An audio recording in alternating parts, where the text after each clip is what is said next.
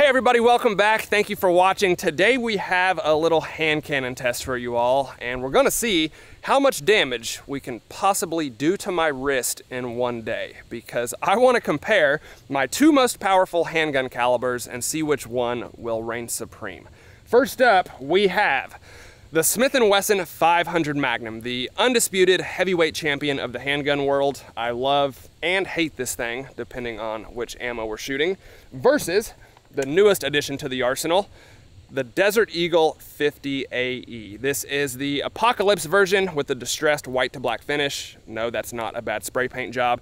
That is how it comes. This thing is an absolute behemoth. And as far as I know, it is still the most powerful semi-auto handgun cartridge or at least one of them. And of course, to test these hand cannons, what better target than a Ballistic Dummy Lab human torso? Now, I wanna give a quick shout out to Ballistic Dummy Lab. If you saw the 100 yard pistol shot video, you might have noticed that torso was kind of moldy. And when I told them about it, they sent me a brand new one for free, no questions asked, which is pretty cool because if you don't know, these torsos are not cheap at all. So I don't even know what color the fluid is in this one. I think they have red, green, and blue. So It'll be a fun surprise for all of us. And these are the two cartridges side by side. We have the 50 AE and the 500 Magnum. They are both 50 caliber bullets, but clearly the 500 Magnum is quite a bit longer. So the 50 AE with a 300 grain bullet is going 1500 feet per second and produces about 1800 foot-pounds of energy.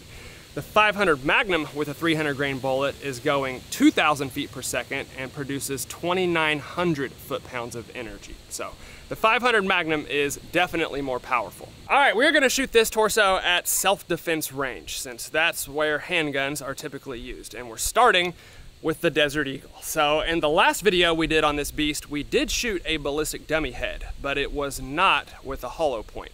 This is a hollow point. It's a 300 grainer and it is a flamethrower. We've shot these heads with the 500 Magnum several times, Let's see what the 50 cal Desert Eagle does.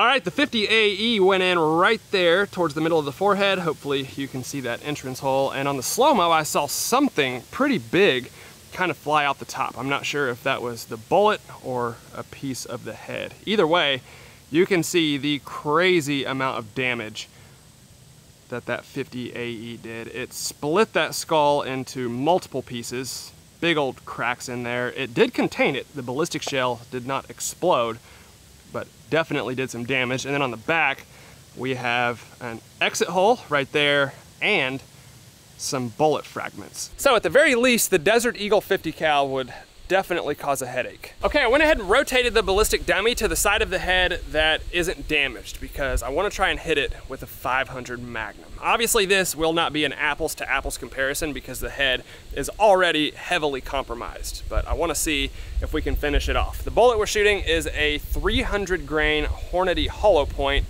and it is a beast. Get ready for the recoil.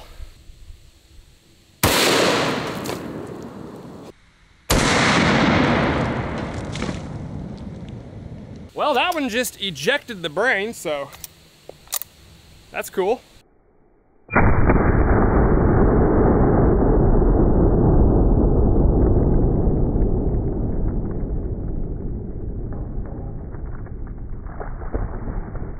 Got my trusty gloves on because this is where it starts to get kind of messy. You can see the entrance hole from the 500 Magnum right there by the temple and it just ejected all of the contents of that head straight onto the ground. I imagine that probably would have been quite a bit more dramatic if we didn't shoot it with a 50 AE right before, but over here, I do see an exit hole, a pretty big exit hole on the other side of the head. So it looks like it might have just passed all the way through. And then on the ground, we have the Brizane, and it looks like that is where that 500 Magnum passed through. So it went in right there, obviously just blew that entire chunk out of it. And then look at the exit hole on the other side. Definitely quite a bit bigger than the entrance hole. All right, that took care of the head. Let's get on the torso. And back to the Desert Eagle. Unfortunately, this is the only hollow point we have in 50 AE, so that's what I'm using. But obviously that torso has two lungs. I wanna hit one with the 50 AE and one with the 500 Magnum, and that can kind of be our direct comparison. Starting with the Desert Eagle 50 cal. We'll go for that left lung and hopefully a bone fragment doesn't come back at me. Well, I didn't get any bone fragments coming back at me, but I did get a shell casing that blasted me right in the forehead. And I think that one actually broke skin.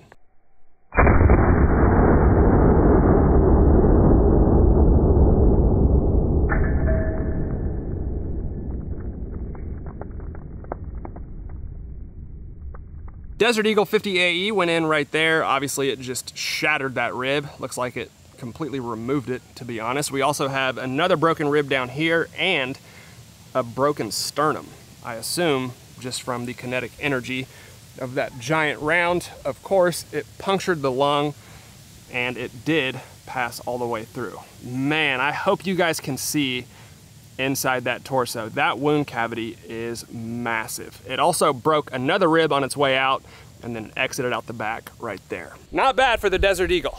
Let's try the 500 Magnum. Now I wanna try to keep this somewhat comparable. So for the 500 Magnum, we are gonna shoot a 350 grain Corbon hollow point. These are loaded extremely hot and they're very painful to shoot, so. This should be fun. Going for that right lung.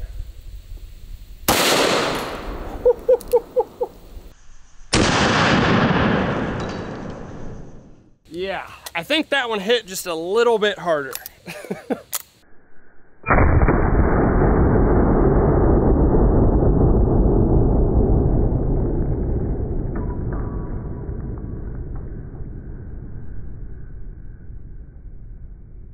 500 Magnum went in right there, and this is like the perfect comparison of these two rounds because they hit in pretty much the exact same spot on different lungs. So first of all, you probably noticed that the 500 slumped this thing over several inches this way, which means it compromised the structure pretty heavily. The 50 AE did not do that. It also broke and removed like four or five ribs, whereas this one just broke the one rib that it went through. So pretty obvious the 500 Magnum hit a lot harder and did quite a bit more damage in the process. And if we go around to the back, you can see it did pass all the way through and that wound cavity is several times bigger than the 50 AE. It's probably three or four inches across at least. Hopefully y'all can see in there. And again, it just destroyed the rib cage on the back and our bullet exited out right there. And I actually knew that that bullet passed all the way through before I even looked at the torso because I saw it hit the railroad ties and kind of bounce back towards me and I was able to recover it. And that thing is fully expanded, which is pretty sweet. So that's what a 500 Magnum hollow point looks like after it passes through a torso. Well, I know you guys would probably kill me if I didn't shoot a real wrist-breaking 500 Magnum, so that's what we're gonna do. This is the 635 grain Grand Canyon Hollow Point, and it is a monster. The 700 grain T-Rex is technically a heavier bullet, but it's not a hollow point. And this is like the hollow point equivalent of the T-Rex. And in my opinion, it is every bit as powerful and will probably do more damage, so. Whew. Unfortunately, both of the lungs are already hit and that pole kind of goes up into the intestines, so I guess I'll just aim around the stomach. It's been a while since I've shot one of these. There's a reason for that. when you shoot the three and 400 grainers, you just can't imagine a round that would have twice the recoil. Then you shoot the six and 700 grainers and they do. Hmm. Hmm. Hmm. I think that one might have split him in half. There he goes.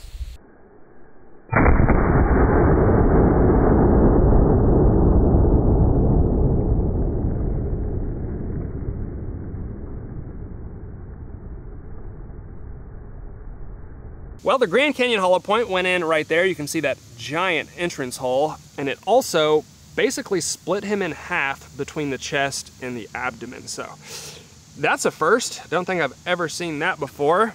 Um, obviously just destroyed the ballistics gel and you can even see some of the internal damage in there. Definitely not pretty. If we flip him over,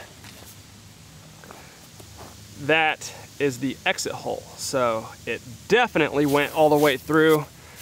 I was hoping to show you guys some of the internal damage, but it fell off the stand. Either way, it went through the stomach, completely destroyed it, blew out the spine, and then exited out the back right there. All right, I got the torso propped up on the table. He'll probably fall over, but let's finish him off with a mag dump from the Desert Eagle.